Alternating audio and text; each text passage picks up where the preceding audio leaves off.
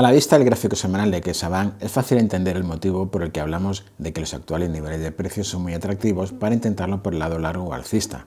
Así, la zona de soporte, como no puede ser de otra manera, la tenemos en la base del movimiento lateral en los 3,55-3,60 euros.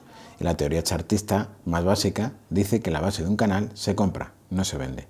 Por lo tanto, si hay un momento para intentarlo por el lado largo o alcista, es ahora preferiblemente en correcciones, colocando el stop loss en velas semanales por debajo de la base del canal y objetivo en la parte alta del mismo en los 4.30-4.35 euros.